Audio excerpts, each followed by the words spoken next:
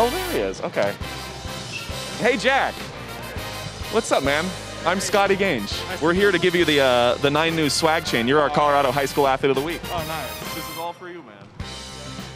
Hey, it takes a lot of swag to hit the kind of buzzer beater shot that you hit. How special was that moment for you in front of the entire school? Oh, it was really special, man. It was like, I don't even know. It's an experience I can I can't even put into words. Like, it's every kid's dream to do it, and I experienced it. It's pretty amazing. You think you can hit a corner three wearing a swag chain? I think I could. Here we go. Legacy's down one. Five seconds to go. Let's get the countdown. Five.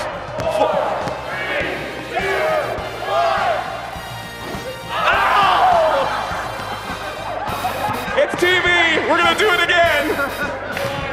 We'll be here all day. Down one. Crowd's going wild. Five seconds.